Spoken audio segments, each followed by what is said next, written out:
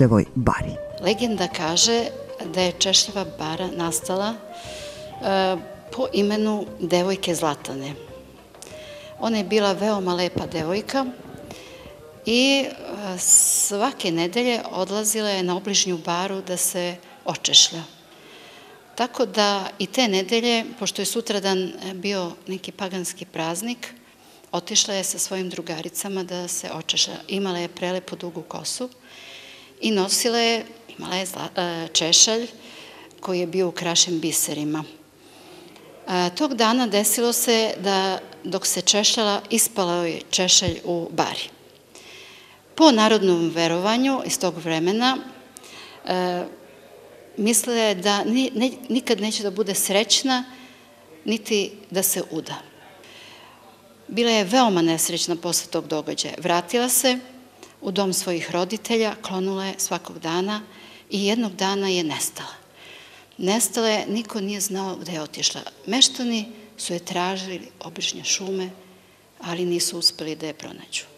Tako, u znak sećanja na devojku Zlatanu, na Češalj, na tu baru, naše naselje dobilo ime Češljeva bara. Ekipi uputio predsednik Saveta mese zajednice Češljeva bara Živorad Ilić i započeo priču o tome šta je sve urađeno u ovom lepom selu. Kao prvo, dobar dan vama i vašoj ekipi i pozdrav vašim gledalcima. Hvala na ovom vremenu što ste odvojili za, za Češljevu baru.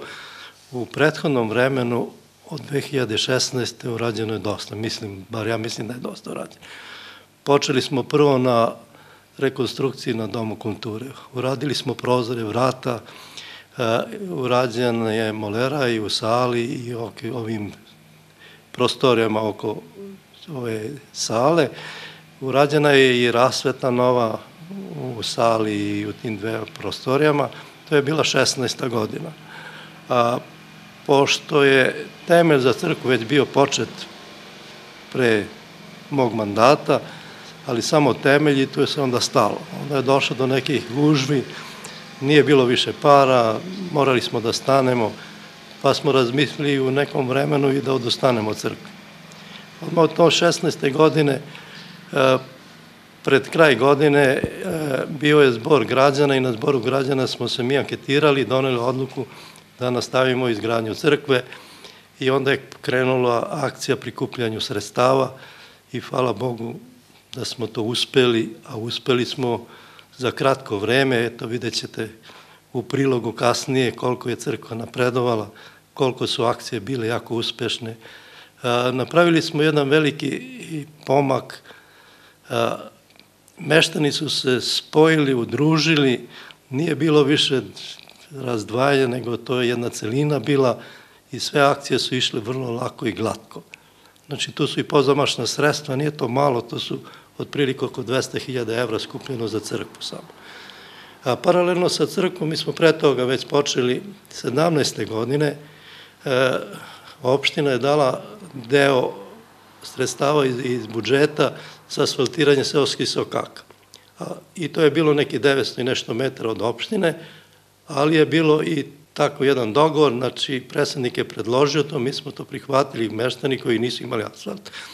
On, ako, ako se pojave meštani u Sokaku koji hoće da sufinansiraju taj projekat, oni imaju prednost u odnosu na ovaj projekat koji je bio napravljen pre toga.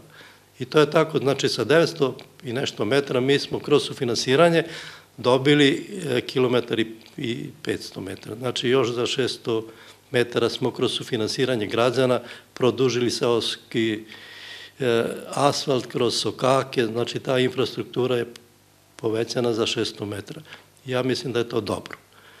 A, paralelno sa tim, znači te 17. godine, radili smo i deo ulične rasvete. Produžili smo za neki 200-300 metara po tim sokacima koji nisu imali uličnu rasvetu. Sve to E, iz budžeta koje je opština dodelila mesnoj zajednici Češljava bara. Kažem vam da to je bila 17. godina, 17. godine u maju mesecu smo već bili prikupili dosta sredstva za izgradnju, u stvari za nastavak radova na, na crkvi. Tako da smo u maju već pogodili majstore zidare koji su počeli da zidaju crkvu, obezbeđena su bila sredstva onoliko za to vreme, znači da možemo da finansiramo majstore, to je bilo 19.000 evra, majstore samo, i plus naš materijal. Mi smo tako radili i hvala Bogu dobro je išlo tako, znači imali smo onda na raspolaganju oko 30.000 evra. Deo sredstava za majstore su obezbenjena 100%, a dalje kako budu išli talkovi radova, ljudi će se odazivati i odazvali su. Do kraja 17. godine crkva je bila sazidana, znači stavljen je krov, betonaža na krovu i sve je to završeno. Onda smo već pogodili i druge majstore, znači pokrivanje crkve sa bakarnim limom. Taj bakarni lim nije bio jeftin. On je bio negde oko 100 evra po kvadratu. Pošto crkva ima neki 300 kvadrata, to je blizu 30.000 evra. I to smo radili 17. i početak 18. godine, tamo negde u aprilu 18. godine sa limom je završio. Recite nam, na koji način ste prikupili sredstva za izgradnju crkve? E, mi smo imali e, ovako dve akcije. Jedna akcija koja je išla u selu Češlja Bara, dobrovinim prilozima građana, druga akcija je bila e, organizovana u Beču, pošto gro naših radnika je meštane tamo u Beču i tu akciju je vodio moj sin Mirko Ilić i Siniša Janković. Oni su se tamo organizovali, napravili sastanke, objasnili ljudima kako se radi ovde, objasnili su da sve što se daje, znači nije samo onaj e, listić iz bloka, nego da svako dolazi na, na, na papir i taj papir bude istaknut, kasnije će vam pokazati, još uvek stoji tamo na, na, na prozoru, da svako može da vidi u svako doba vremena. Znači, proveravamo sami sebe. Nema tu je, jedan kaže, ja sam dao 500 evra, a u stvari dao ništa. Ko će mu proveri blok? Ne može niko da mu proveri blok priznanit. Ali ako tamo na, na, na spisku, u stvari na listu nema, ili ako ima neke greške, on će da dođe kod nas i kaže, ja sam dao više, zašto me nema tamo? I ja mislim da taj model je jako dobar. To uliva poverenje meštana i oni su počeli stvarno da daju, više nije imao potreba da idemo da molimo, nego da su ljudi posle dobrovoljno došli i daju i pitaju da li treba još. I sada još uvek akcija traje, nismo još završili, ali završit ćemo do kraja godine. Šta nedostaje što se same crkve tiče? Nedostaje u crkvi, znači mi je, počeli smo oslikavanje crkve, freskopisanje, urađena je, e, oltar je kompletno urađen, to ćemo kasnije u prilogu da prikažemo, i deo centralne kupole. Znači ide se dalje, 90% sredstava su već obezbeđena, ostaje nam nešto malo. To nešto malo skupit ćemo sigurno uz Božju pomoć. Ja mislim da će tako da bude. Dakle, koliko smo mi razumeli, e, meštani Češljeve bare i oni što su van granica zemlje, a i ovi što su ovde, rado su se odazvali pozivu da učestvuju u akciji izgradnje crkve. Tako je. Odazvali su se prvi put u istoriji Češlje bare. Da nemamo više ono dve, tri podele, dve, tri frakcije, ima tu možda neki koji su jako jedinstveni, baš da kažem da smo jedinstveni. Izuze možda da, ajde, mali je broj, ako bude petoro, šestoro, neki možda iz objektivnih razloga ne mogu da učestvuju, neki možda eto iz nekih svojih, ja ne znam kako da kažem, zašto se ne odazivaju. Ali većina se odazvala. Većina, 90 i više posto ljudi, meštana Češlje bare, učestvuju u ovoj akciji i Bogu hvala da je to tako. Uporedo sa izgradnjom crkve, adaptirana je izgrada osnovne škole. Jeste. E, mi smo koristili e, ovu situaciju kad smo pogodili majstore za zidanje crkve. Pošto ti majstori, oni su tamo sa juga Srbije, iz Vlasotinaca, njima je trebala, trebao smeštaj. Mi smo onda u saradnji sa predsednikom opštine i direktorom škole dogovorili da deo prostorija, što je tu škola ima i jedan stan koji je bio namenjen prosvetnom radniku koji bude u, u Češljevoj bari, pošto te prostore nisu bile u funkciji, da nije bilo potrebe, jer e, učiteljica ima svoju kuću tu i te prostore su bile prazne, onda smo se dogovorili da smestimo te radnike tu, da mogu tu da, da spavaju i da spremaju sebi ručak i večeru.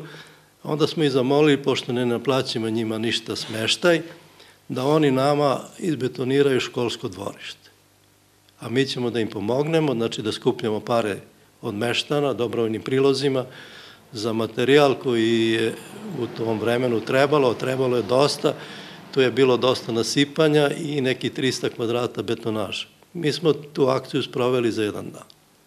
Možete zamislite, znači njihovi nekoliko majstora i naši 15-16 meštana Češljeve bare, smo za jedan dan izbetonirali 300 kvadrata, to je jako mnogo i za jedan dan učiteljica, moram da naglasim i ovo, učiteljica i njen muž su nas spremili ručak, bilo je tu i pečeno prase, i sarma, i čorba, tako da smo... Dakle, to... i motivacija da se uradi što pre i bolje. Baš tako. I to smo uradili, kažem, za jedan dan, hvala Bogu, lepo je sada. Živorade, mi smo primetili da je veći deo meštana Češljeve bare emotivno vezan za zgradu e, osnovne škole, tako da niste upravo imali u planu da je rušite, već samo da je e, adaptirate, dakle, kao što ste i uradili. Jeste. Neko vreme, ja ne znam baš tačno kada je to bilo, e, škola je bila dosta oronula, čak je i deo plafona bio pao, onda je neko vreme, neko vreme đaci su morali u jednu privatnu kuću da, da budu smešteni i onda da ne bi mi ugasili školu, mi smo se opet tamo udružili, ja sam ono vreme bio onda u Beču na privrednom radu i, i bio sam ja deo te ekipe koja je tamo radila na prikupljanju para za, za adaptaciju škole. U stvari ta škola je sada u potpunosti renovirana. Skinuti su malteri sa zidova, skinuto je krov, skinute su i grede. Znači, udarena je ploča, ostali su teo zidova samo od stare škole. Urađena e, ploča, urađen je novi krov, urađeni su e, struja, voda, stolarija, tako da je škola urađena i, on, i u onom vremenu relativno brzo. Bilo je tu posle malo nedovoljno sredstava, ali je pomagala je opština, tako da smo i taj dao posla završili uspešno. E, Češeva bara ima i dom kulture. Koliko je dom kulture danas iskorišćen? Tako, Češeva bara ima dom kulture koji je urađen kod Džavo davno, ja se ne sećam tačno, ali ja mislim da je tamo negde počeo je dosta rano, onda smo ga završili negde 60 i neke godine, pre 70. godine. Znači ta sala na Domu kulture je onda bila završena i onda je bilo u početku dosta tih aktivnosti. Bile su dosta priredbe, e, estradne zvezde, estradni umetnici su gostovali u našem selu, bilo je često, bilo je dosta meštana, bilo je dosta ljudi onda. I onda vremenom, kad se otvarale granice, onda su ljudi napustili zbog ekonomskih prilika i neprilika u selu, morali smo da tražimo posao van granica i onda je ostalo u selu manje ljudi. Pa se e, i, i te... Postavljam da je, bio i neko, da je bilo neko folklorno društvo, ali se umeđu vremenu, eto, i ono ugasilo. A, Češnja, da, Češnja bara imala svoje folklorno društvo, imala su, da bome, i folklor, i, i neke recitacije, tako da su uvek pratili te, te priredbe i naši, naši umetnici folklornog društva u sklopu tih manifestacija i tih priredbi, je sada se i to ugasilo. Mi sada s vremena na vreme, eto, učiteljica se trudi kad, evo i sada kad bilo švećenje crkve, bilo je tu mali, ma, mali program za, za vladiku, tu malo folklora, malo recitovanja, ali sve to manje, ne onako kako je nekada bilo, zbog toga što nas nema više tako puno. Recite nam, kakva je situacija Da li e, kada e, ljudi završe svoj radni vek, da li se vraćaju u svoje rodno selo? Da. Evo ja sam jedan od tih, čim sam završio sa radnim odnosom, tamo je dobio sam penziju, ja sam spakao stvari i vratio sam se u svoje rodno selo. Ostala su mi deca i unuci tamo, imao sam i svoj stan tamo koji još uvek ga imam, ali verujte mi, ja idem tamo samo na kratko, dva puta možda godišnje, po tri, četiri dana, odradim neke lekarske preglede i neke druge potrebe što imam, što moram. Uglavnom sam kući i verujte mi da sam jako srećan što sam u svojoj kući, u svojoj češljevoj bari. A šta kažu vaši mlađi? Da li će se oni vratiti kada steknu penziju ili možda nešto malo ranije ili uopšte ne? E, trenutno pričamo o svojoj porodici, jer to najbolje znam. Ja verujem da kad bi se neka situacija stabilizovala na, onako na, na, na, da kažemo, trajno, i ne onoliko da zarade koliko tamo zarade, da sa pola primanja bi se vratili. Ali dok se to ne sredi, a to ne zavisi od nas, to je tako kako je, mislim, ne može ni preko noći ništa da se uradi, nisu mogućnosti da se trenutno vrate. Znači, ali verujem da kao ja kad budu u penziji da će se vratiti automatski. Naravno, ono što je za svaku pohvalu je upravo kao što smo na početku našeg razgovora rekli, da su e, meštani Češljeve bare, bilo ovi na privremenom radu, bilo ovi koji su ovde, veoma uh, složni i jedinstveni. I upravo uh, ta složnost rezulti, rezultirala je svime ovim. Pre svega mislim na novu crkvu koja je nedavno izgrađena, adaptiranje zgrade osnovne škole, kao i doma kulture. Rađena je i putna infrastruktura, kao što ste pomenuli. E, zato ste i nagrađeni od opštine Veliko gradište. Recite nam nešto o nagradi koju ste dobili kao mesna zajednica. Da, prošle godine opština Veliko gradište dodeljuje opštinsku nagradu mesnoj zajednici kao najbolja mesna zajednica na teritoriji opštine Veliko gradište. To je jako lepo priznanje, ali zato nas obavezuje da još više i bolje radimo. Ove godine sam ja kao predsednik mesne zajednice dobio isto opštinsku nagradu kao najbolji predsednik mesne zajednice. To je jako lepo, ali ja kažem, ono još više nas veže, još više nas motiviše i daje nam neku snagu da još više radimo. I opet kažem i hvala i lokalnoj samoupravi na čelu sa predsednikom Draganom Milić, koji nam uvek izlazi u susret. Sasluša naše predloge, naše muke, u 90% nam i pomaže. Nikad nismo i to otišli kod njega na, za, za neku pomoć da tražimo, da kaže i trenutno nema. Uvek se dogovaramo i uspeli smo, kažemo, u 90% da sve naše aktivnosti sprovedemo u delu. Jedna od tih je i asfaltiranje ispred crkve. To nije mala površina, to je koštao nekde oko 5000 evra.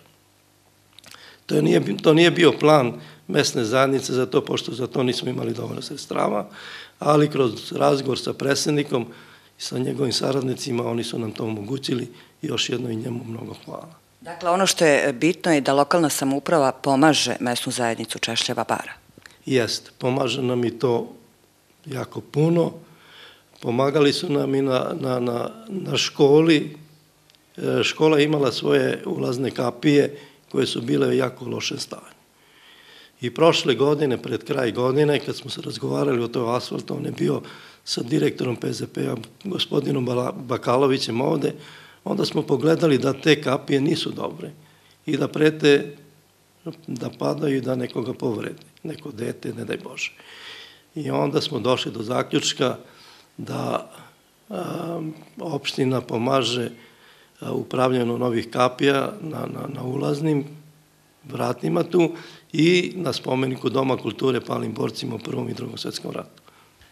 Gospodine Iliću, šta biste vi još mogli da izdvojite, a tiče se same mese zajednice Češljeva bara, šta još ima sem Doma kulture, e, osnovne škole i crkve? Šta još posjeduje mesna zajednica? Od ustanova i preduzeća, naravno. Češljeva bara kao, kao naselje, kao selo, ima i dve prodavnice koje, eto, radu dosta dobro, i to je dobro za naše meštane, jer neko vreme Češlja bara nije imala prodavnicu, bila se zatvorila i verujte me da to je jako veliki problem. Kakav je društveni život u Češljoj bari? Da li postoji neka kafana, neki restoran gde se skuplja naroda? Mi imamo i dve kafane. Imali smo do skora tri kafane, jedna se sad zatvorila, pošto je vlasnik otišao da radi u Italiju i tako da je zatvorio tu kafanu, ali imamo dve koje su u funkciji, koje su aktivne, Tu se mi uveče skupljamo, razgovaramo, šalimo se, pa i zajednički gledamo i utakmice. Eto, sinoć je bio Partizan i to smo gledali i malo smo se i nervirali, pošto nije bila baš utakmica po našoj želji. Na kraju ipak rezultat je dobar trenutno. Verujemo da će Partizan da pobedi i da ide dalje. Ali mi pouzdano znamo da imaju uspešnih preduzeća ovde u Češljevoj bari. Jeste, jeste. I imamo gospodina Viduljevića, Bobana Viduljevića, njegova firma se e, radi transport putnika od Kučeva preko velikog gradišta Požarevca, Smedereva do Beča, prevoz putnika i robe, Bobi Travel, Bobi Travel se zove firma koja posjeduje trenutno 15 autobusa novije generacije, tako da možemo da se pohvalimo i sa Bobanom, što nam eto i pomaže i uvek nam izlađu susret i nekim našim ljudima ako treba neka torba uvek je donese na pravo mesto, ne naplaćuje ništa. Hvala Bobi Travelu. I pored, pored Bobi Travela što provozi putnike imamo i dva vulkanizera koje su isto jako, jako uspešni, koje rade svoje poslove, zamenu guma i to je dobro, pogotovo što znam, eto mi smo i poljoprivredno selo koje se bavimo poljoprivredom i u tom radu više puta na njivi nam se desi da pukne guma, da ne možemo dalje, mi ih pozovemo, oni dolaze, donosu nam rezervne gume, zamenjuju na, na licu mesta i za nekoliko pola sata, sad vremena mi nastavljamo poslove na njivi. Hvala i njima. E sad, kad ste već pomenuli, vi ste e, inostrani penzioner, ali kažete da se sad bavite poljoprivredom. Da li je teško baviti se sad u vašim godinama poljoprivredom? I koliko ste vi angažovani na tom polju? Pa meni lično nije teško. Ja sam 50. godište, znači sad će još malo pa 70 godina. Ja sam ceo radni vek uvek proveo na nekom radu, uvek sam radio, tako da ovi poslovi mi nisu ni tako ni teški. Ne bavim se toliko, mnogo koliko bi možda im mogo da smo svi na okupu. Da mi je sin tu snaja, Samo un. Samo ja supruga imam staru kevu, majku koja nije u mogućnosti da radi ništa, mi nju sad pomažemo i to je normalno da treba da je pomažemo, ali eto, imam tu malo poljoprivrede. Imamo... Sada je avgust mesec, koji su poljoprivredni radovi aktuelni, recimo, ovog meseca? Pa ovo, malo, ovo u avgustu je malo zatiše, osim skupljanja sena i deteline, nema drugih, ali zato ima sad pripreme, čišćenje tih koševa za smeštaj kukuruza koji će sad skoro da bude, da počne berba, pošto vreme, kako vidimo, dosta toplo i ubrzaće zrenje tih, tih, tih plodova, znači skidanje e, kukuruza, suncokreta, onda priprema za, za jesenju setvu, na selu uvek ima posla, I dobro, nije nam dosadno, a i... Eto, kad smo već kod poljoprivrede, pade mi na pamet, kako je prošla žetva pšenice? Žetva pšenice pre, prošla jako dobro, kako smo krenuli u proleće, pa smo se bojali da će se pšenica osušiti i počela je neko vreme i da se suši, onda su došle te kiše na pravom, u pravom vremenu, obnovili su tu vegetaciju, pšenica je donela svoj rod onoliko koliko je, mi smo ga lepo skinuli, skladištili smo, većina nas nije htela da proda, računa na neku bolju cenu, verovatno će da bude bolja cena. A koliko dobro može da se živi od poljoprivrede? Pa ajde... Možda kada bi više ljudi ostajalo ovde da radi, možda bi se to isplatilo. Eto, zato vam postavljam ovo pitanje. Da. A, pa koliko imam a, kontakt sa ovim ljudima koji se bave baš organizovanom poljoprivredom, može lepo da se radi, s time da mora mnogo da se, da se zaradi, da se lepo živi od poljoprivrede, ali s time mora mnogo da se radi. Poljoprivreda je takva grana, ona nema 7 sati, 8 sati radno vreme. Ona se radi od jutra do mraka, kad je sezona pa i malo više. Znači, 15, 16, 17 sati sigurno. Ali zato, kad prođe sve to, onda imamo neki, neki prazan prostor, možemo malo da se odmore, da se opustimo, da izlazimo do kafane, da popričamo, dok ne naiđe opet drugi talas, pa opet tako. Ja mislim da je to interesantna poljoprivredna grana, je interesantna grana, izuskuje mnogo posla, ali gazda si na svom posedu i radiš ono za tebe. Ja sam radio 40 godina u firmi vani i tamo sam radio isto disciplino, ali to nije bilo moje. Sam morao uvek da gledam na sat i bojim se kad dođe šef, ne mogu, pije mi se kafa, ne mogu da pije. Kod moje kuće kad mi se pije kafa, ja popijem. Kad sam umora ću da sednem pet minuta. To kod drugog gazda je drugše. I još jedno pitanje, Živorad, evo mi se trenutno nalazimo u sali e, koja e, piše na vratima sala za venčavanje. Da li je bilo nekog venčanja ove godine? Da, da, bilo je tri venčanja i čeka se još jedno sad u septembru i to je relativno dobro. Eto, dakle, meštani Češljeve bare imali su priliku i da malo se provesele na nekim svadbama. Tako je.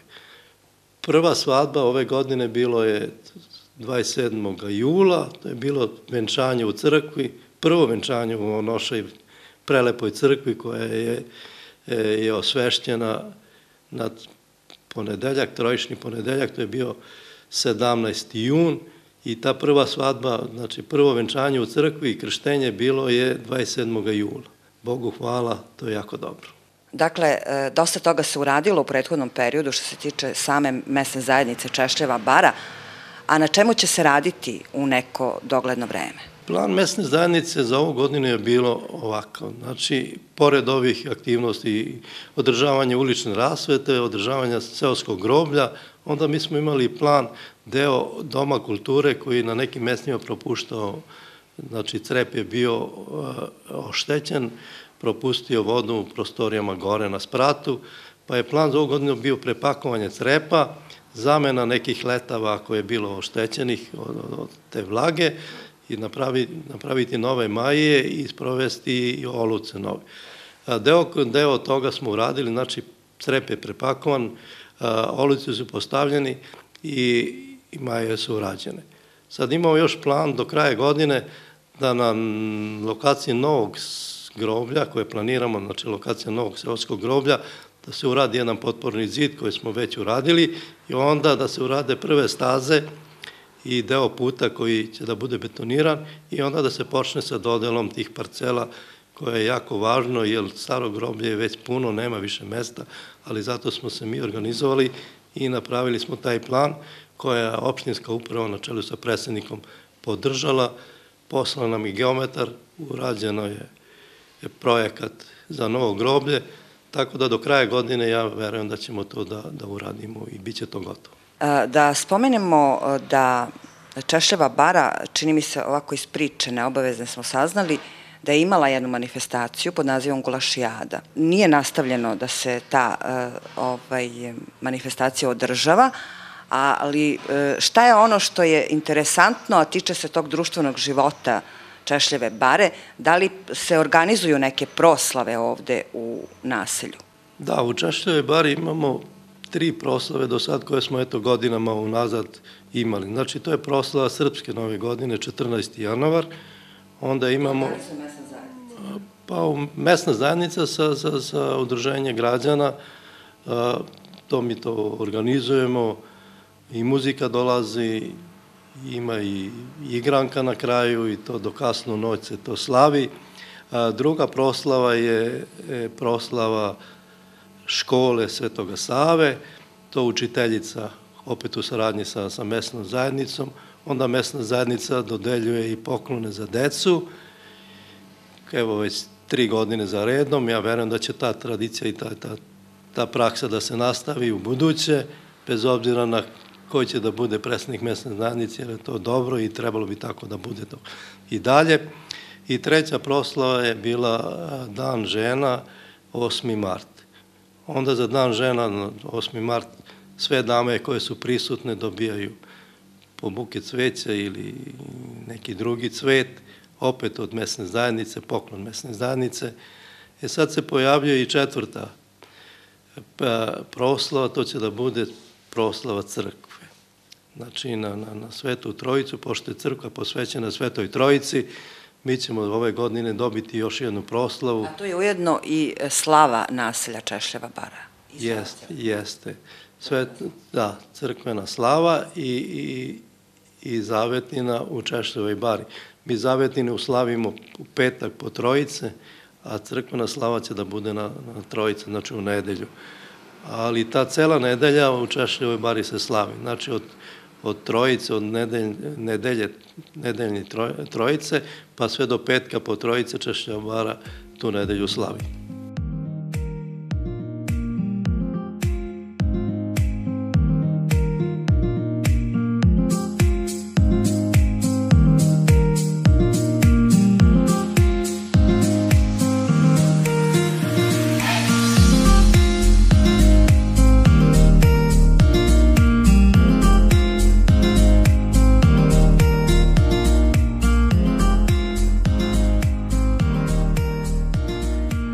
Naselju postoji osnovna škola Miša Živanović, Srednjevo, izdvojeno odeljenje Češljeva bara. Zgrada škole i dvorište su nedavno kompletno renovirani i adaptirani. Poštovani gledalci, nalazimo se u osnovnoj školi Miša Živanović, izdvojeno odeljenje u Češevoj bari.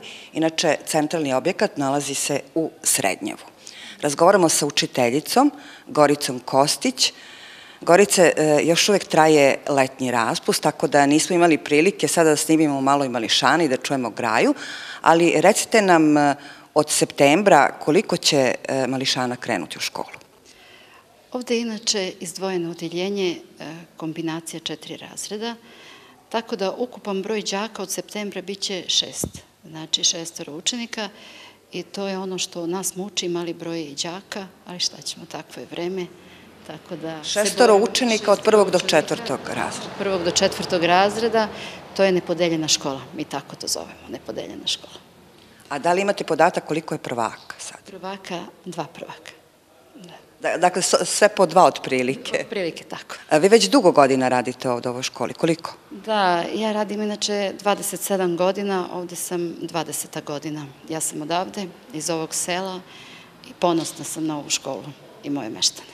I najbolje poznajete sve prilike vezane upravo za školu. Da, da, upravo tako. E, nedavno je ovde u Češljavoj bari e, izgrađena crkva koja, kako svi meštani kažu, baš nedostajala. I e, e upravo smo saznali da meštani Češljave bare veoma rado se odazivaju e, akcijama i događajima koje su vezane za napredak njihovog sela.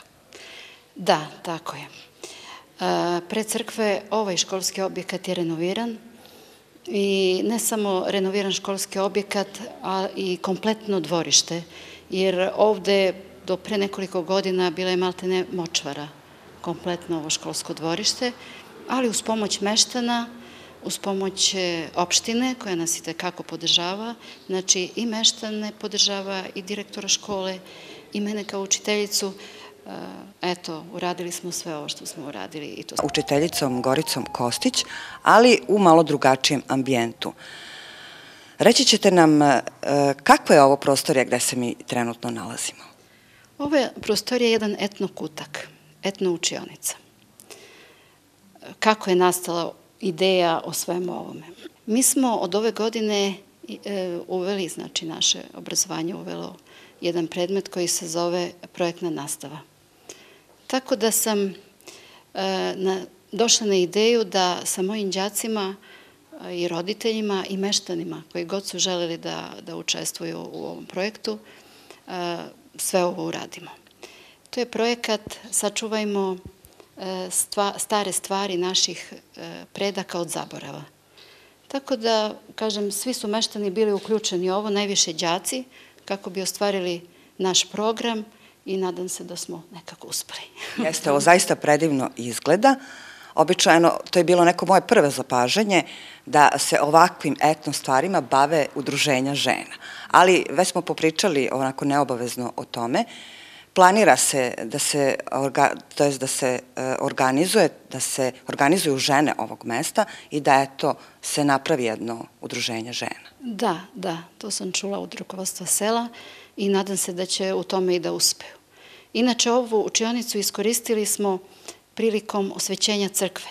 Imali smo tu čast da nas poseti naš episkop Ignjatije, da baš ovde ušao i video u učionicu i bio je veoma, veoma zadovoljan. Imali smo, znači, tu čast i priliku da ga primimo i ugostimo. To samom istorijatu ove škole. Kada je e, e sazidana zgrada osnovne škole?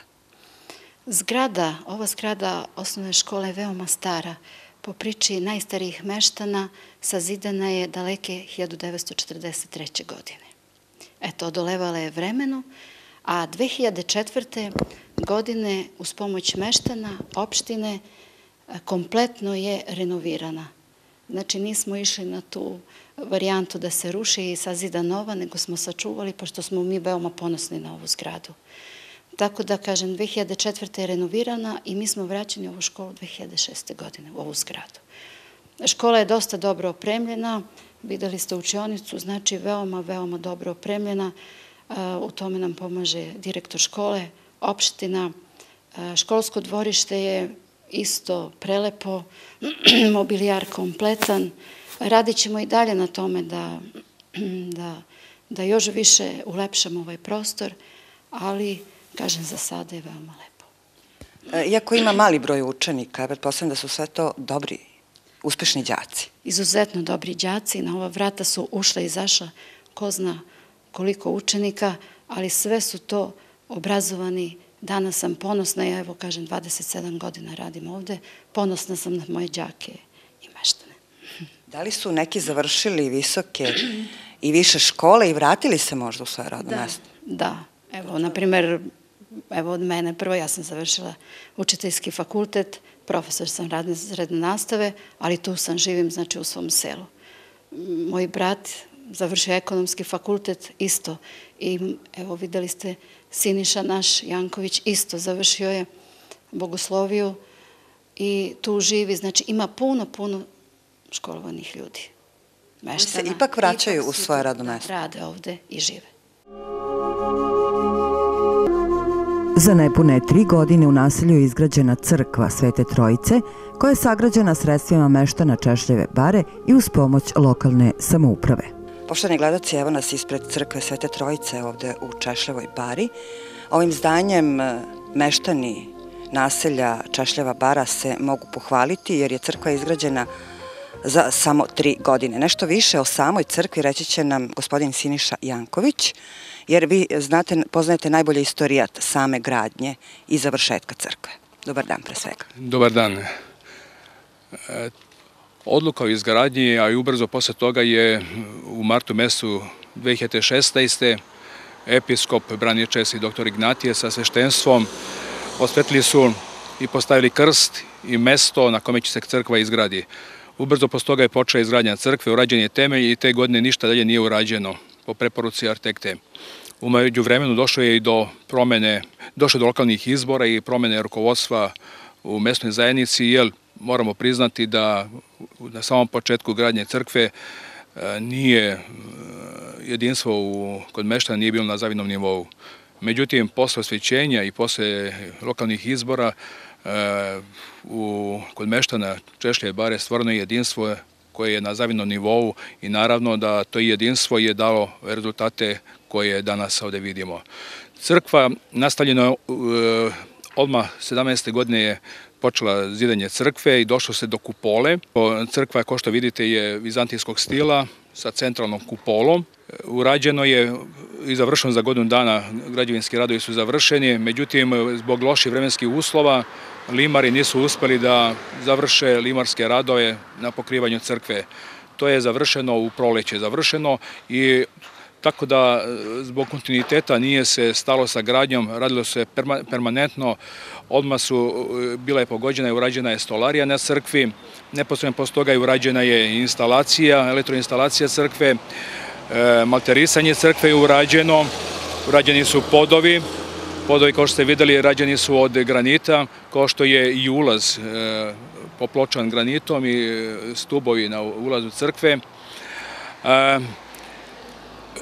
Onda smo odmah išli na to da se e, da se uradi, tražili smo izvođače radova, našli smo i gledali smo da bude i kvalitet u pitanju, da bude što bolji kvalitet, a što povoljnija cena i opredelili smo se za majstor Dragana iz e, Kasidola i on nam je uradio predivan ikonostas i ne samo ikonostak, nam uradio kompletan taj drveni interijer u, u, u crkvi. Mi nismo mirovali, znali smo nam prestoji kasnije oma i oslikavanje, jer smo rešili da nećemo da ostavimo crkvu neoslikanu, nego smo oma tražili izvođače za oslikavanje crkve. Tražili smo izvođače, tražili smo, gledali smo isto ponude koje kakve i onda smo se opet opredali za majstor Zvonka iz Kasidola koji je možda i najviše ima iskustva na ovim našem, našem kraju po pitanju oslikavanja crkve. Radovi su započeti mi smo Do sad je se došlo do, urađen je, je završeno u, u oltaru je završeno i u deo centralne kupole. Zbog osvećenja crkve, jer naši ljudi su hteli da crkva ne bude samo spomenik e, u centru sela, nego da e, služi liturgijsku sabranju i već smo imali nekoliko puta već liturska sabranja i već i dalje planiramo e, bogosluženja dva put mesečno ovdje kod našoj crkvi, jer mi pripadamo, pripadamo parohiji Srednjevskoj, tako da ne možemo svake nedelje da to organizujemo.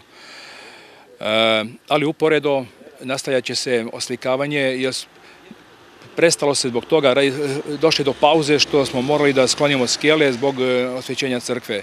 Osvećenje crkve, kao što se i čulo, e, taj čin osvećenja je obavljen na drugi dan e, Svete Trojice, znači u ponedeljak 17. jula, bilo je mnogo sveštenika, bilo je meštana naši koji su samo zbog tog čina osvećenja došli, uputili se iz inostranstva tamo da rade.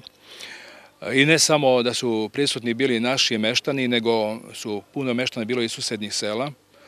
Na tom, tako da je bilo velelepno ta slika koja je otišla odavde e, u svet. Nakon, e, nakon osvećenja na tom zajedničkom ručku i pre toga smo imali jedan mali program e, koji su organizovali naša učiteljica i naša deca koja pohađaju školu, niži razrede osnovne škole. Umeđu vremenu urađena je i, nisam vam rekao, umeđu vremenu je urađena i, i Gilender na galeriji urađeno, to je urađeno ove godine i urađeno i nama što tiče crkve ostalo samo da se uradi do kraja godine, bilo je planirano, sad zbog ove malo pauze, pauze koje smo napravili zbog osvećenja, verovatno će se malo taj rok prolongira, ali za očekivati je da će se osli, kompletno oslikavanje crkve završiti do marta meseca. Marta meseca 2020. 2020. godine. A, mi smo čuli da je bilo veći e, venčanja u crkvi. Imali smo i venčanje i krštenje. Eto. Imali smo dva venčanja i dva krštenja. I sad nam prestoji čim je opet krštenje, nisam siguran u skorije vreme. Što je najbitnije, što bih htio da naglasim, e, e, to mora da priznamo, zato što po svim podacima kojim raspolažemo, Češlja bara vratno nikad nije imala crkvu, uvijek je pripadala nečije parohije, sad u najduže vremena smo vezani za parohiju Srednjevsku, čak e, naš sam podatak da u prvoj polovini 18. veka pripadali smo parohiji Kleinskoj, što sve to ukazuje da mi nismo imali našu crkvu i moramo priznati da duhovni život, crkveni život kod meštana nije bio ni izblizan na zavidnom nivou. Više se robovalo nego li je robovalo tradiciji, čak i paganskim običajima, A, za, interesantno je sad da su mnogi, e, da li to crkva čini, čini svoje, mnogi su se okrenuli tom crkvenom životu i sami se raspituju kad je bogosluženje. Onda smo imali ne samo bogosluženja, nego organizovali smo i za slave rezanje kolača znači, u našoj crkvi i ranije moglo se na prste se izbroja oni koji nose i režu kolač u crkvi, dok je sad zaista slika sasvim drugačija. Ne znam ko ne dolazi da reže kolač u crkvi. Crkva nam je malte ne uvek e, ispunjena i to je i cilj gradnje crkve, znači da tu ostvarimo tu zajednicu s Bogom, međusobnu zajednicu, a ne samo da nam bude to spomenik u, da nam krasi selo. Da li će crkva Svete Trojice od Očešljeve bare imati svog stalnog sveštenika? Mi ne možemo da imamo svog stalnog sveštenika, jer e, određivanje sveštenika to je regulisano na nivou crkve, ja sad ne bi ušao to šta to uslovljava, Selo, selo je malo da bi imalo svog e, sveštenika, da bude e, sosvena parohija, parohija za sebe. Mi dalje ostajemo u parohiji Srednjenskoj i sveštenik koji sadi, koji će biti u budućnosti u Srednjem, on će pokrije i naše selo. I ne samo naše selo, pokriva i Kamijevo i, i Šuvajić, ali pošto Šuvajić i Kamijevo nemaju izgrađenu crkvu, nemaju crkvu, znači e, bogosluženja obavit će se u budućnosti, znači ne samo u Srednjoj, nego u Češoj bari. U, dakle, čuli smo da je u planu da se izda monografija o Češljevoj bari. Recite nam nešto o tome. Pa inicijativa je bila na crkvenom odboru, oni su predložili da se napravi, napiše jedna lepa ukorična knjiga, hronološki sveska, hronološki kako su tekli radovi na izgradnji crkve, onda na kraju da se e, poimenično navedu svi donatori i priložnici koji su najviše doprinjeli izgradnji crkve i kroz taj razgovor izrodila se ideja da se ipak napiše jedna mala monografija i da se to štampa. To bi crkveni odbor e, bio izdavač i mene su obavezali da to uradim. E sad naravno, pošto mi nama je crkva tek novo izgrađena, i nisam našao vrlo male podatke, nikad se ništa na našem selu nije pisalo.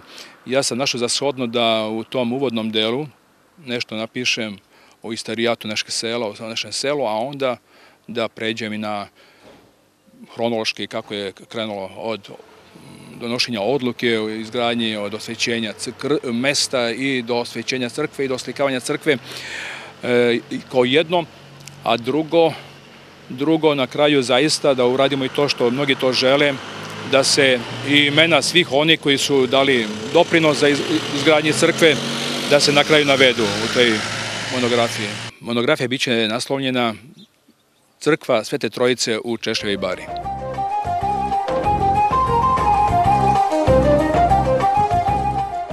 Jaroslav Stragarević je imao zadatak da snabdeva majstore građevinskim materijalom. Imali smo jednog pre, pre mene, koji je pokojni, mora da ga spominjem, Redić Voja neki, koji je bio snabdevač građevinskog materijala, jer mi smo bili u građevinski odbor, crkveni odbor. I on je siroma nastradao baš u izgradnju toga i posle sam ja nastavio. Dobio sam zadatak da kad treba za majstore, šta treba, materijal, cigla, ako treba kreč, ako treba, šta god treba, obavio sam, o, obišao sam majstore, pesaka treba, cement i to, to je bilo fiksno, koje sam ja Baš deo zadatka koji ste obavljali. Zadatka, da snabdevam, da, radi, da radnici imaju materijala, da se radi. I tu smo bili, bio sam aktivan i izvršio sam svoj zadatak. zadatak kako A recite mi, da li je sve teklo onako po planu od kako ste vi to preuzeli u svoje ruke? Nije, bilo je sve po planu. Bilo je baš dobro, jer smo svi lepo sarađivali. Predsjednik je saveta i, i on je u crkvenom odboru, bio je jako korektan. Volili smo da ga, da ga poštujemo, da ispoštujemo i njega i nas i bili smo jako aktivni za ovo selo i zato je išlo sve po, po planu i programu. I sredstva su se zaista za brzo vreme sakupila? Sredstva su se brzo vreme sakupila, jer dobili smo jako poverenje od građana Češe Bare, što to ranije nije bilo, ali eto, potrudili smo se da pokažemo da se može nešto graditi u ovom selu i da se može raditi. I ono što mi možemo primetiti je svakako da je crkva izgrađena u jednom e, dobrom vremenskom periodu. Dakle, sama izgradnja crkve trajala je oko tri godine, a znamo da nekad može to i mnogo duže da traje. Jeste, a crkva je izgrađena jako brzo. Eto, još nema, sad tek su pune tri godine, ali već smo u finale, što se kaže. Imamo još malo freske da se odradu i to je gotovo. Znači, odradili smo nešto što je ne pamti se u Braničevskom okrugu. Ne znam u Srbiju. Recite mi, već smo od predsednika Saveta mesne zajednice saznali da su i sredstva za freskopisanje koje je u toku e, već obezbeđena. Sve je to obezbeđeno i, majst, i ovaj crtač koji crtaju to koje radu, znači obezbeđili smo sve i nadamo se da do marta iduće godine je sve gotovo.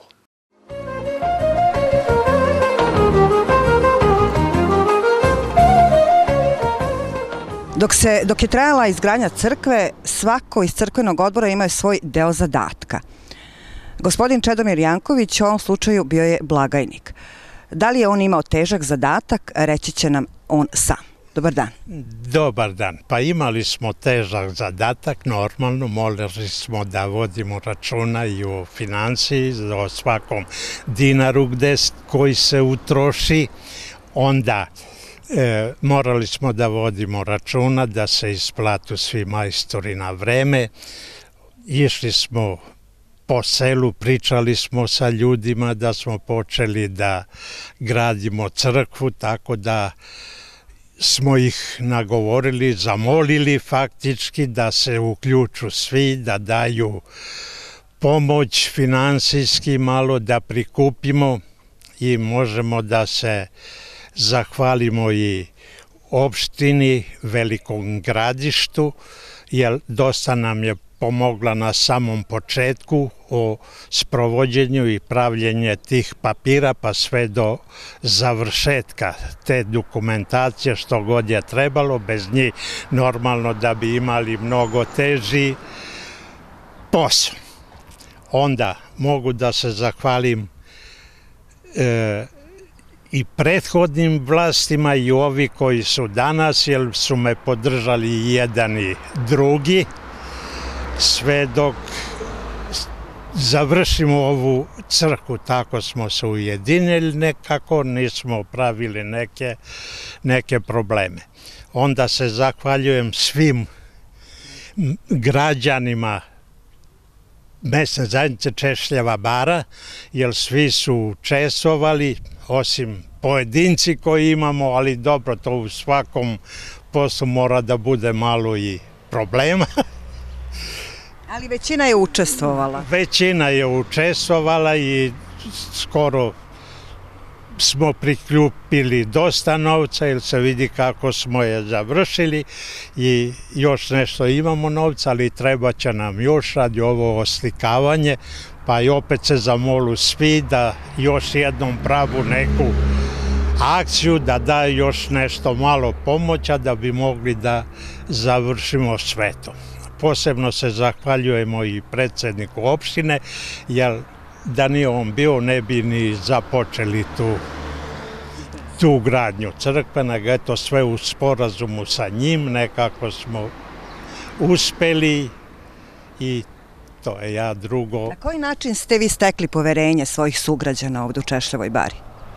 Ceo crkveni odbor i uopšte savet mesa zajednice? Ceo crkveni odbor, pa videli su narod da stvarno smo počeli da radimo, ne troš, nije se trošio novac na drugu stranu, nismo tražili i šta smo radili, nismo tražili nikakve dnevnice, nikakve putne troškove, svaki dinar koji je došao, došao je u izgradnju ove crkve. Bobby Tours sada radi pod imenom Bobby Travel – preduzeće za autobuski prevoz putnika.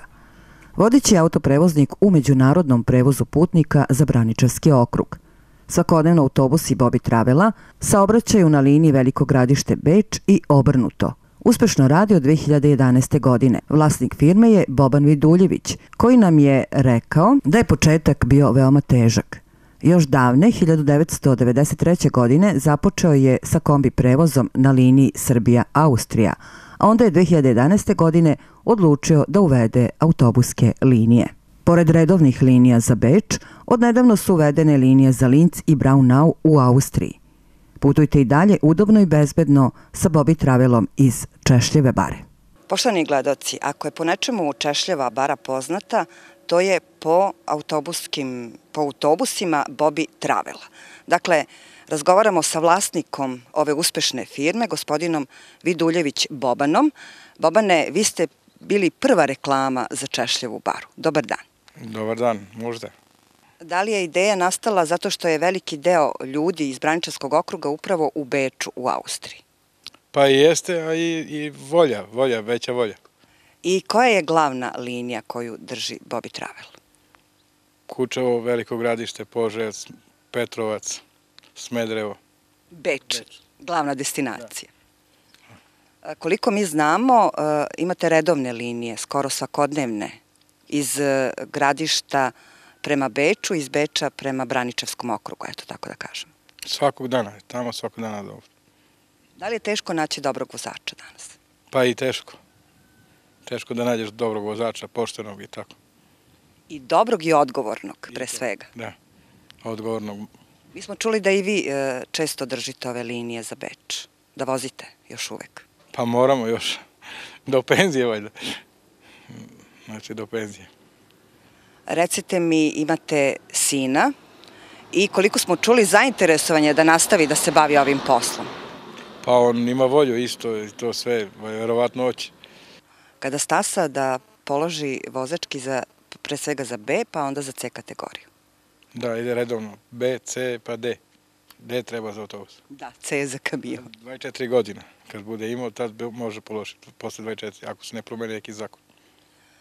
Da li možemo malo da popričamo o tome koliko je u stvari odgovoran posao vozača? Pa mnogo odgovoran. Vozi najmanje 50 putnika, mora odgovara za svakog putnika. Znači, odgovoran posao. Rekli ste da ste, pre nego što ste započeli da se bavite ovim poslom, radili u Austriji, u Beču. Da li vam ovo pruža mogućnost da budete i više kod kuće, upravo ovaj posao? Svaki vikend smo kući. Da li je lepše biti kod kuće? Pa moramo i tamo i ovamo. Znači, po, i tamo smo i ovamo smo. Ali dobro kad je kući. Što se tiče same Češljeve bare, dosta toga se uradilo na infrastrukturi što se tiče samog sela. Evo, upravo smo razgovarali sa predstavnicima mesne zajednice. Završena je jedna veoma lepa građevina, dakle crkva u Češljevoj bari, crkva Svete Trojice, koju su najvećim delom u izgradnji pomogli upravo meštani Češljeve bare i veliku zaslugu u tome imate i vi, jer ste dali dobar deo donacija. Dali smo sve što je u mogućnosti, možemo, pomažemo selu sve. Tu smo, živimo u to selo, mora pomognemo. A po vašem mišljenju, zašto toliko mladih ljudi odlazi sa sela? Šta bi trebalo promeniti ovde da bi ostao narod da živi i da radi ovde? Pa ne znam, moraju da svi se odluče malo, plate veće i tako to. Ne znam, ne znam, svako mora da odluči gde hoće. Inostranstvo, svi guraju za inostranstvo zato što veće plate, već i bolji život kao. Mi smo imali priliku da razgovaramo i sa ljudima koji su se vratili iz inostranstva i nastavili sa e, poslom ovde i kažu da se nikada ne bi više vraćali tamo jer im je bolje da rade i žive ovde gde jesu rođeni. Pa zavisi kako ko je šta je uspeo tamo, zavisi, sve to ima svoju volju, neko ne voli gore, neko voli u Srbiju, njegovu zemlju. E sad malo da izreklamiramo firmu. Zašto bi trebalo da putujemo Bobby Travelom? Svako neka se uveri, dobri smo valjda. Neka, se, neka putuje bar jednom pa videće zašto, neka to bude reklama. Znači, nek putuju pa vide. I nek reklama je kad se priča dalje. Reklama je kada je preporuka od jedne mušterije do druge. Da. Vovane, hvala vama puno na ovom razgovoru i želimo još puno, puno godina uspešnog rada. Hvala, hvala i vam. Ševoj bari ima dosta uspešnih preduzetnika i poljoprivrednika – Pored gospodina Viduljevića, to je povratnik iz inostranstva Vojislav Đorđević, koji je vlasnik vulkanizerske radnje, a bavi se uspešno i poljoprivredom. Obrađuje više od 100 hektara zemlje. Razgovaramo sa gospodinom Vojislavom Đorđevićem. Možemo slobodno da vas predstavimo kao povratnika iz inostranstva. Dakle, vi ste e, već sada da kažemo daleke 88. godine otišli u Austriju u Beč. U Beču.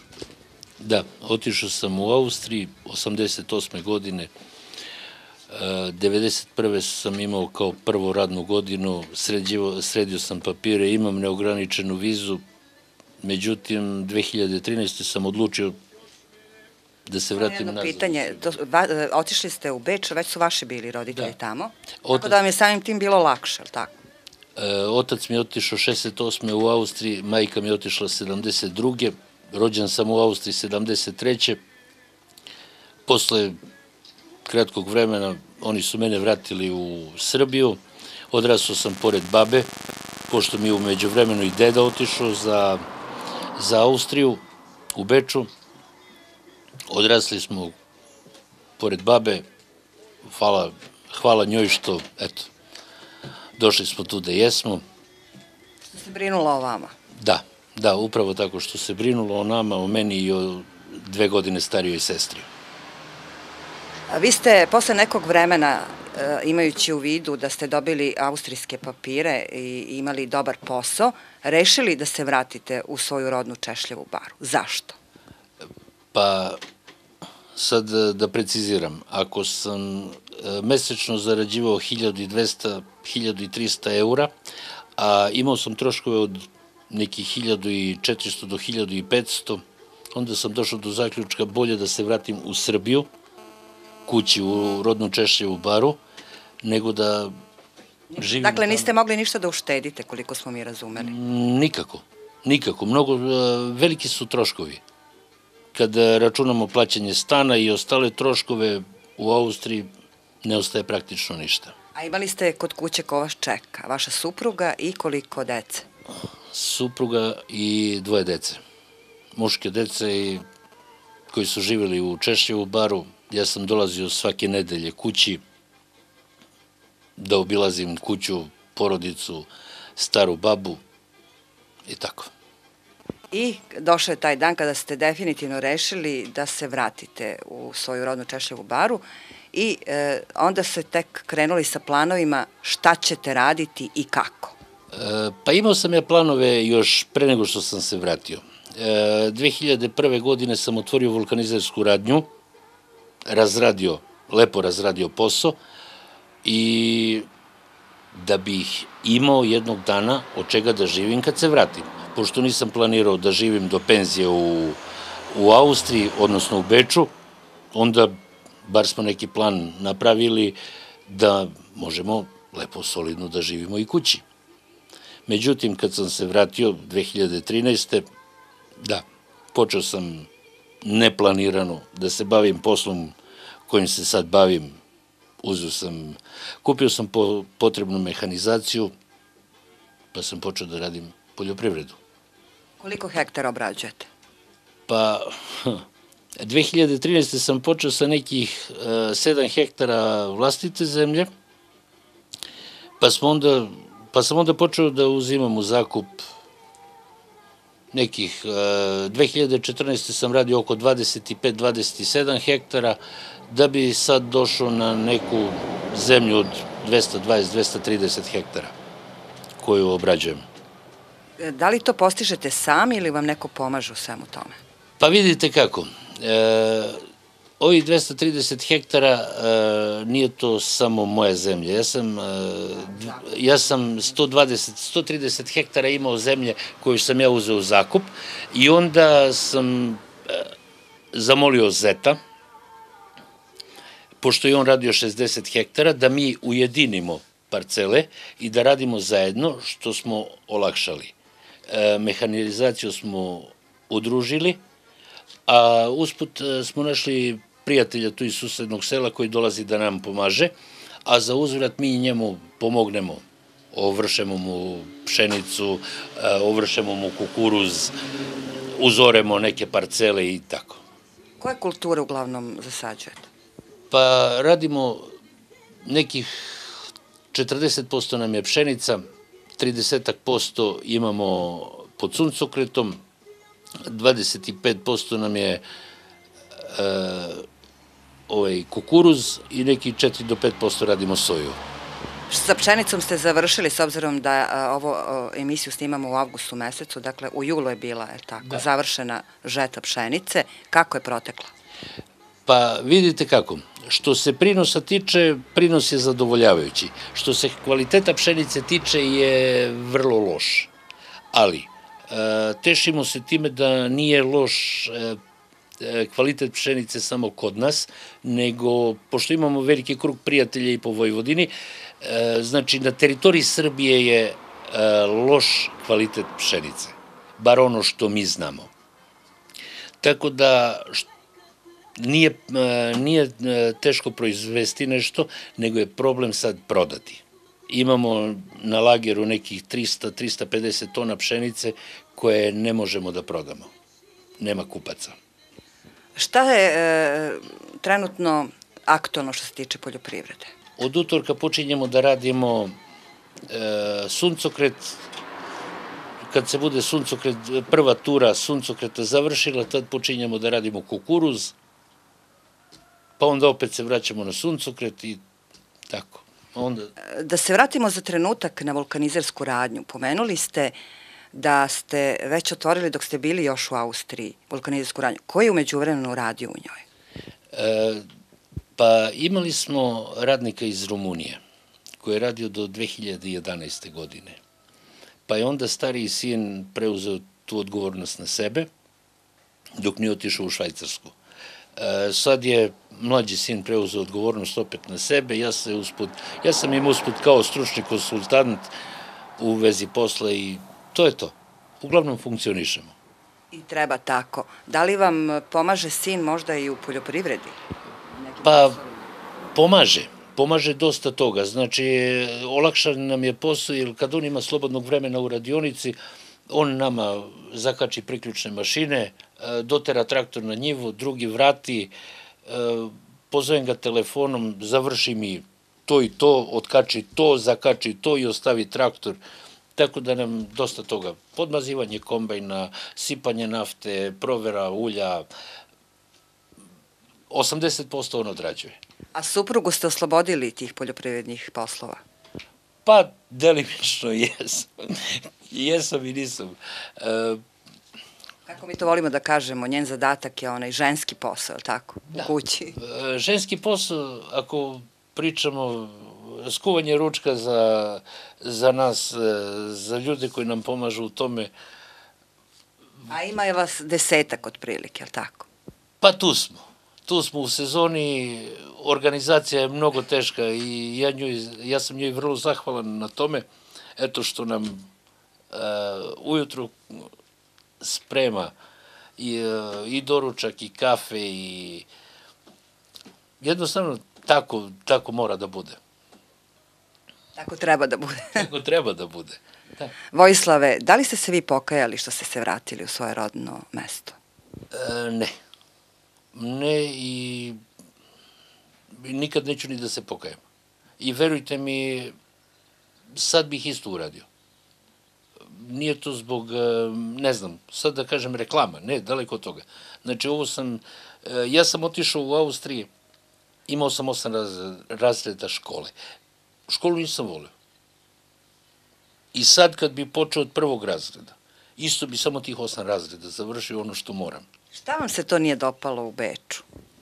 E, nije mi se dopalo, Pričali smo o tome na početku, zbog e, nije bilo nikakve faktički zarade da se ostavi nešto na stranu, je li tako? Sve što ste zaradili, vi ste potrošili. da. E, živeli smo, e, da kažemo, danas do sutra. Obaveze su ogromne, plaćanje računa je obavezno koji i ovde, ali kad vi saberete na kraju meseca, tamo e, vam ne ostane ništa. Ovde i ostane nešto. Dakle, može lepo da se živi od vulkanizarske radnje, a i od poljoprivrede. Može. Može solidno da se živi. E, možemo sebi da priuštimo i slobodnog vremena i odlazak e, na raznim manifestacijama ovde u našem okruženju, kojih ima, hvala Bogu, dovoljno. I naročito u letnim periodu. U letnjem periodu nikad nam nije dosadno. A, imamo i dosta slo, slobodnog vremena. Ako smo danas recimo preskočili, pa nismo otišli na njivu danas, e, iz nekog razloga, da li zbog e, neke proslave, da li zbog e, neke svadbe, krštenja ili ostalih slavlja, sutra će da radimo malo duže. Otići ćemo ranije, e, radit ćemo do kasno, pa ćemo da nadoknadimo ono što smo izgubili današnji dan. Što na zapadu već ne može. Znači imate tamo određenu ponedeljak, petak, ako želite nešto da vam pretekne od plate, onda morate da radite i subotu, i nedelju, i svetak, i petak. A recite mi, da li ima posla u vulkanizarskoj radnji? Pa vidite kako, do pre nekih 6-7 godina, a, dok je bilo a, više meštana u selu, dok je bilo po okolnim selima a, više ljudi, više naroda, bilo je više posla. Sad, kompletan posao se svodi na par firmi koje rade, hvala Bogu, u našem okruženju. E, imamo predu, e, PIM, preduzeće Ivan Milutinović u Golubcu, kojima mi održavamo ceo vozni park. Što se guma tiče, imamo kamenolom u Kaoni koji radi, e, mislim da radi PZP, preduzeće za puteve iz Požarevca. Znači, mi im održavamo gume na utovar na ti- tim teškim mehanizacijama.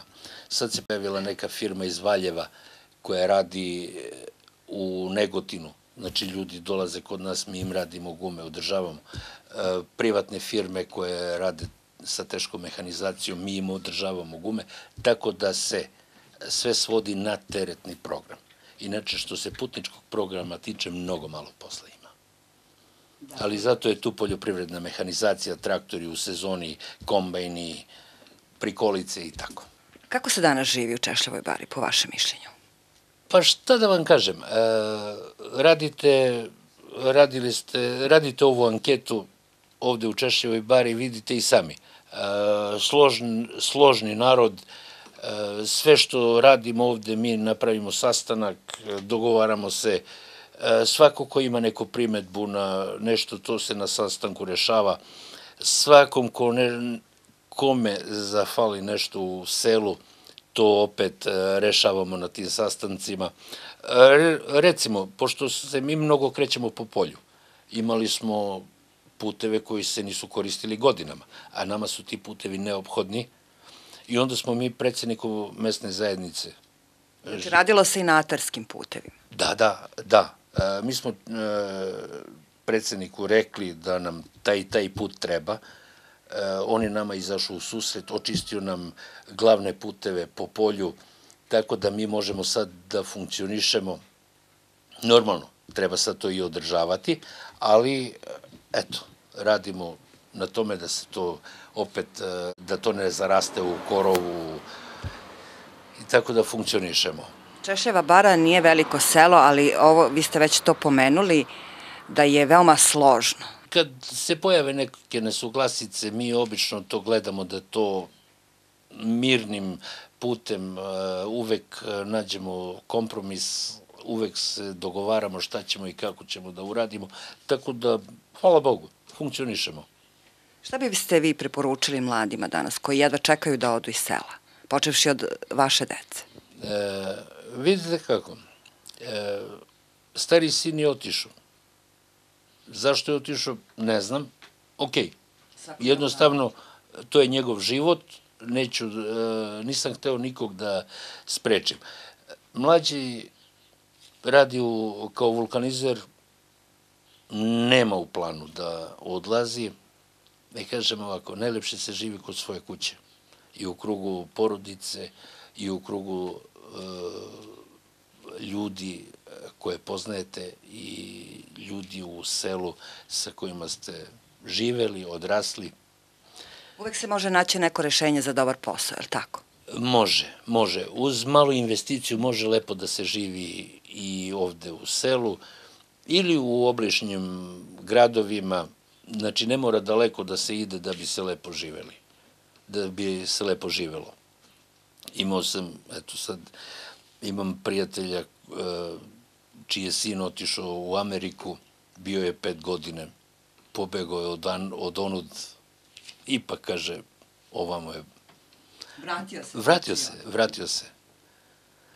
Nije... Pa eto, preporuka mladima, ne napuštajte svoje domove i kućna ognjišta. E, ovo vam prič, ovo što vam kažem, znači, ono što bih ja sad ponovo uradio, znači, nemoj, ostanite među vašima, nema, nema lepše.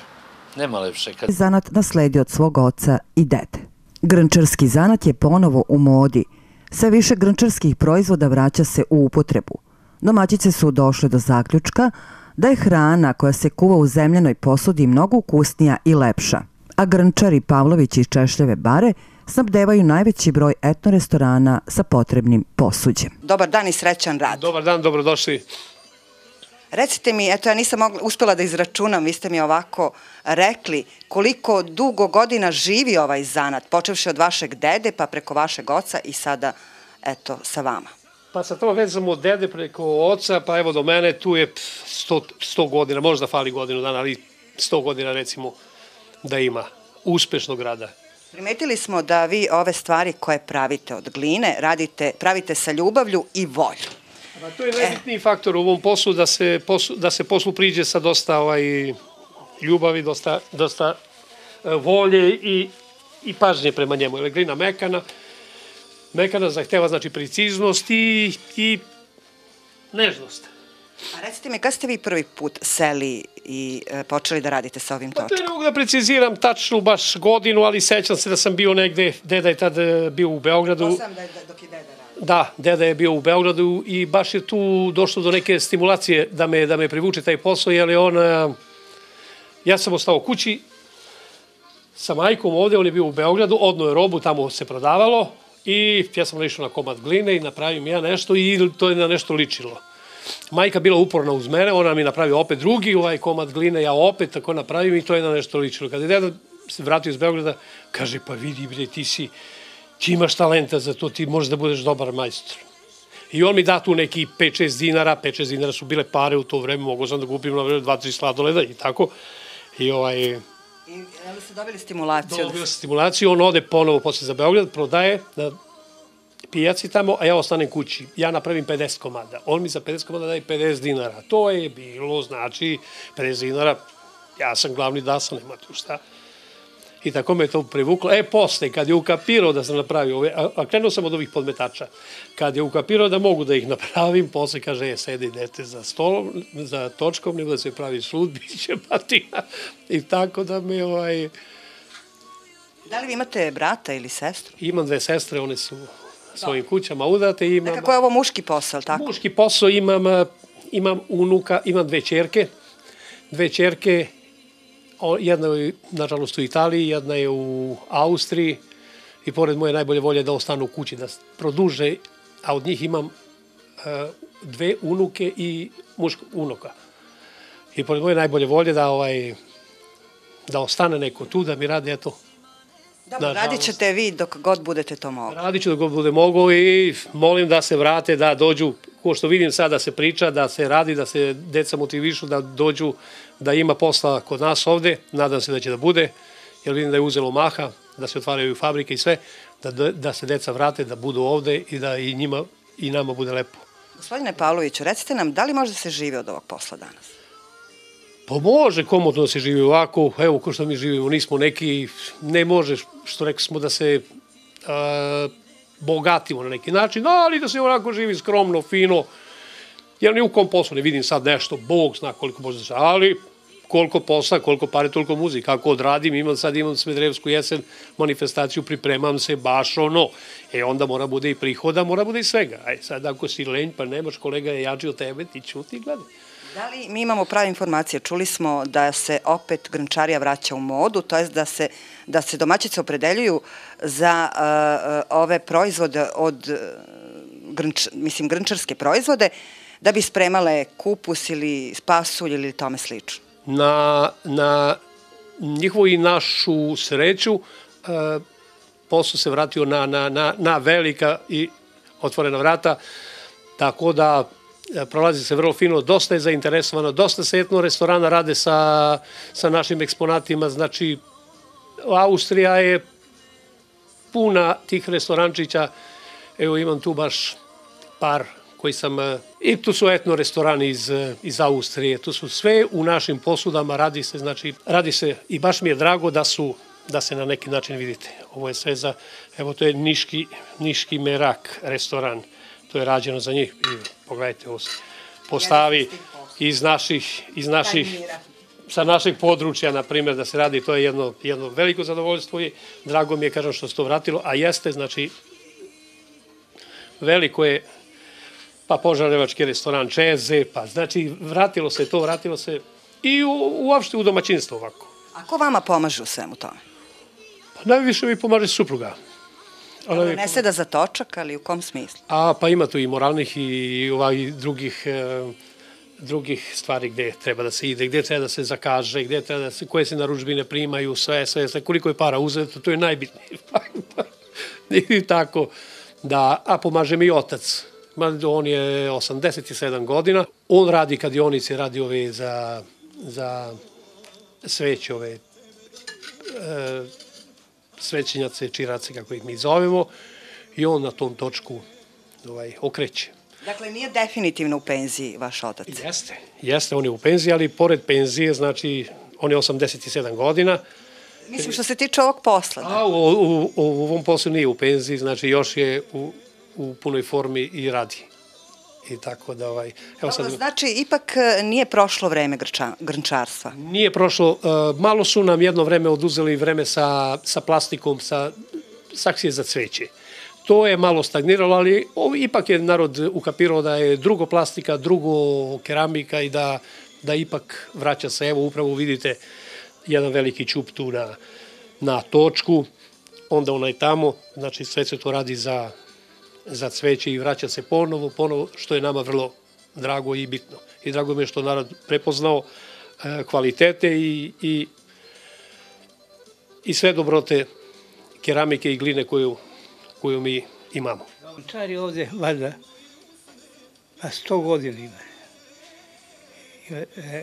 Grančar je moj otac, je grančar, ja, moj sin. E sad, nasledstvo ne, nema ko da... Pa dobro, vaš sin dok bude mogao, on će raditi ovaj posao. Da. Ali za ovaj posao, eto to smo propustili da kažemo, e, treba imati i talenta, veštu ruku. Da. Pa ovde, ovde je preciznost, jaka preciznost. Vidite, ovaj, ovo kolo, ovaj točak, on se okreće. Ja mogu od drveta da napravim sve što god hoćete, da napravim recimo nešto držalje i tako, neke stvari. Ali ovo ne može niko da, da, da misli da napravi. Jer je ovo mekano, blato, kako da vam kažem, zemlja. Treba da ima čovjek osjećaj. I, e, pa, e, Mora da bude umetnički nastrojen. Umetnički, e. I pri, prilikom rada ne rade samo prsti ovako, nego i ovo radi, i sve mora da znaš di će, šta, kako da dođe i, i tako. Onda, onda mora da znate prilikom pečenja. Ne, ne, ne treba recimo sad moj sin ima ovaj električne peći, ali mi nismo imali to. Kakve su pre peći bile za pečenje gline? Imam i sad peći, evo su tu. To su peći zidane, Na drva, tako? zidane ciglom i onda loži se polako, po, u početku polako, polako se to ovaj, dok se ne zagreva, ne sme odjednom da bude jaka vatra, jer će to sve zapustiti. E, kad se zagrelo, ja golim okom tačno znam kad je pečeno. Vi ste ovaj posao nasledili od vašeg oca, da. a vaš sin je preuzeo posao od vas. Da. Recite nam, da li postoje periodi kada je grnčarija bila u ekspanziji, kada, se baš, kada su se baš tražili proizvodi grnčarski? Da vam kažem, e, ranije mi smo radili čupove za pekmez. Čupove mas su držali... Koja je to godina bila? Da li se sećate možda? A, recimo, mogu da vam kažem kako ja pamtim, ja sam 32. rođen. Kako ja pamtim, recimo, da je, da je to bilo da je to bilo potraže, jaka potraže, onda, onda krčag, Krčazi za vodu. Krčak za vodu.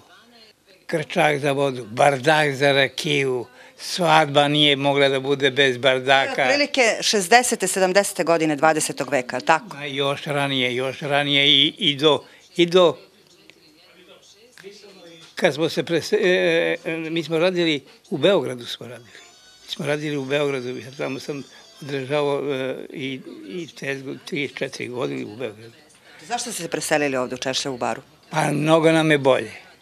Imali ste materijal, glinu? A on, sve imamo ovde, i prostor i, i onda u Beogradu nisi smeo da, da ložiš, da praviš dim tamo, da, da, da dimi komšije, kako komšije, šta je ovo, kakav ovo dim i tako.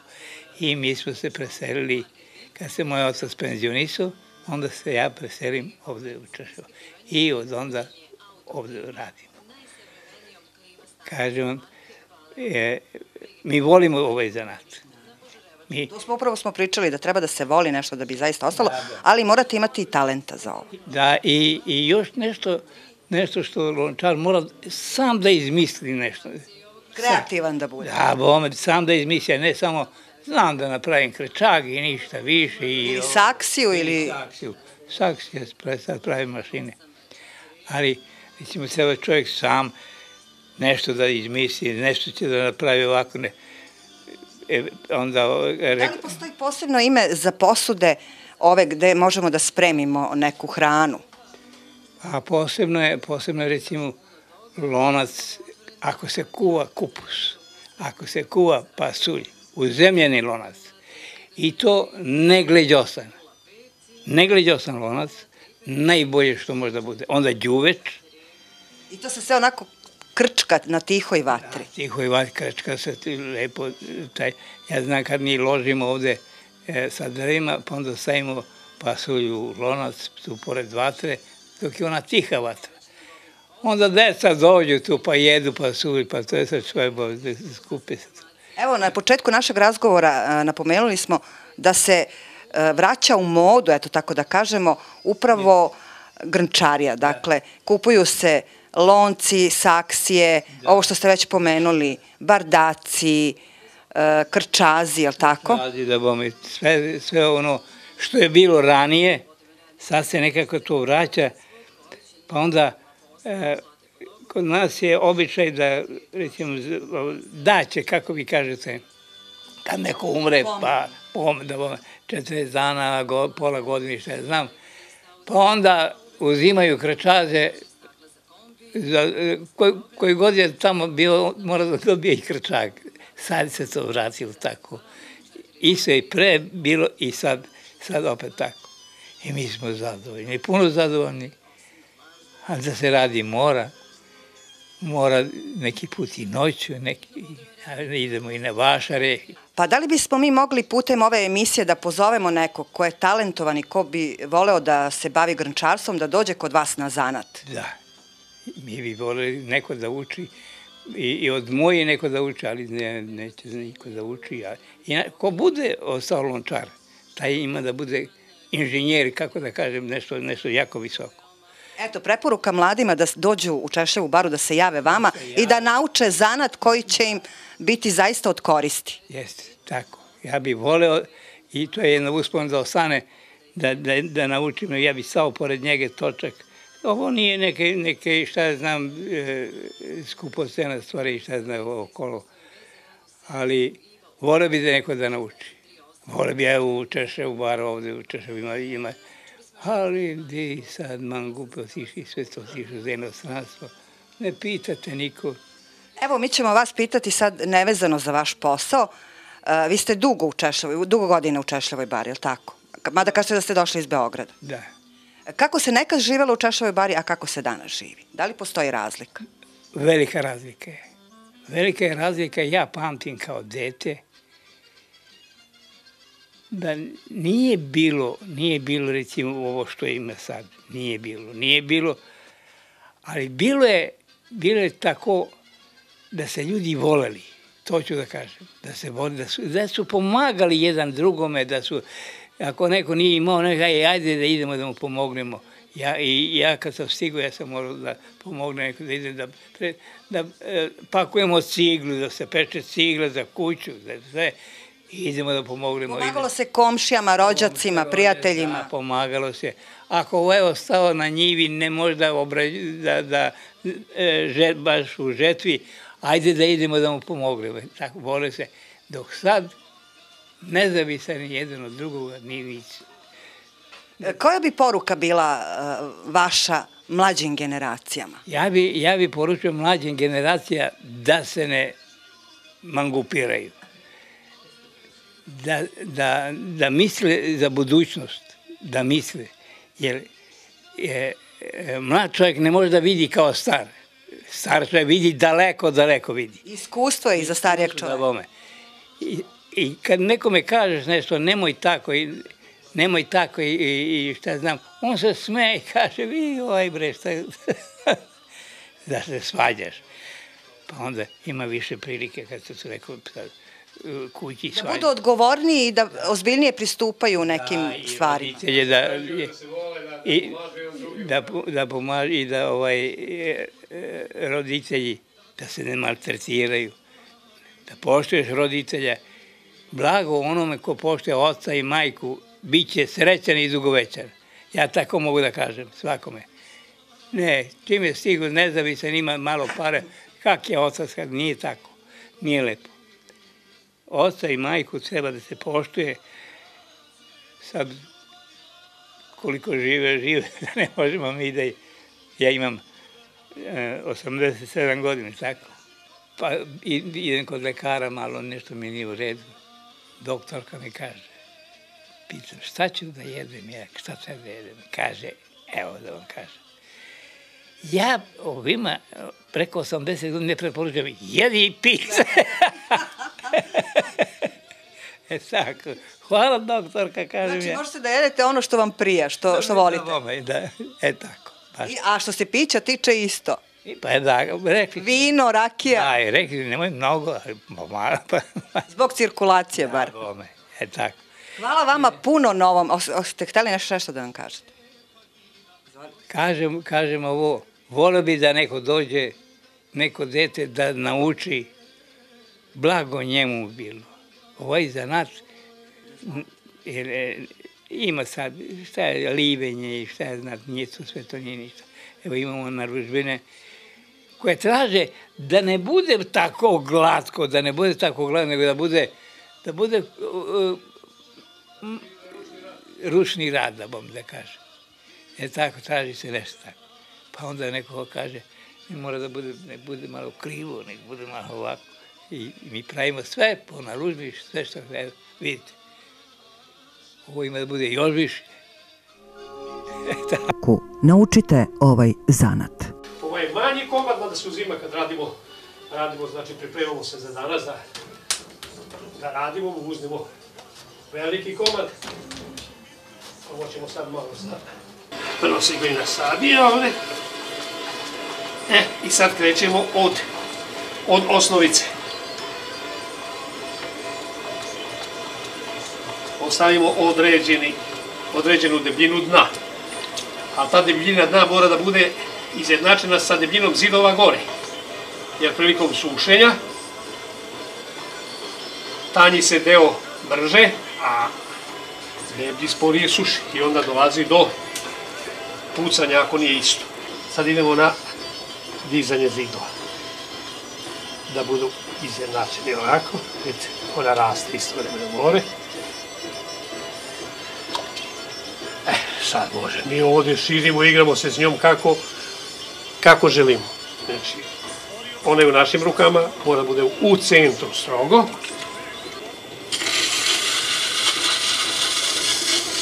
Evo da lata, uglavnom je to ceo arsenal ovupanče metala. E, onda su tu razno razna šarava, na primjer, ne znam da će to da se vidi ovde, ali vidjet će se sigurno koliko toliko. Vidite, aranđelovačkoj glini, ali eno, ona je mladenovačka, ona je taka bela. E, sad su tu stari ovi stari motivi. Pa ja nisam izbrojala do 10, čini mi se. tu je malo i ovaj rutina i iskustvo i evo za 62 godine mora se naučiti da se radi i brzo i efikasno i, i po meri. Znači tu je metar, metar, tu su razna merila, znači sve radimo po dimenziji, sve po meri, sve tako i da to bude tačno. Ovo je električna peć u kojoj se peče glazura i, i terakota. Znači, ovakav proizvod, osušeni, napakuje se ovde, to ide dosta komada, uključi se na neke 900-950 stepeni i izlazi ovakav. Ovakav. E, to je lonac za vatru, za napolje. Ne za, ne za, ovaj, ne za šporete, nego za napolje. Da bi ga uh, vatra tukla ovde. A mala je grejna površina od ozdole. Jer za ringlu treba sa širom. Da.